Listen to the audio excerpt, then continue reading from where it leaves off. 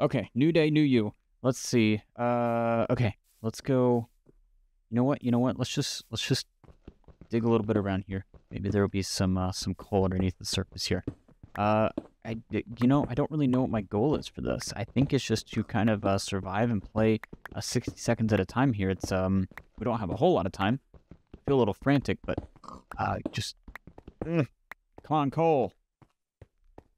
Ooh, there's some water in here though. Maybe there's some coal in there. No. Uh, let's see here. Let's see here. Let's go a little further in the cave. We got 30 seconds. 30 seconds. We got some copper here. That's uh, that's something. Something. Any coal around the copper? No. 15 seconds left. Uh, oh. Uh, okay.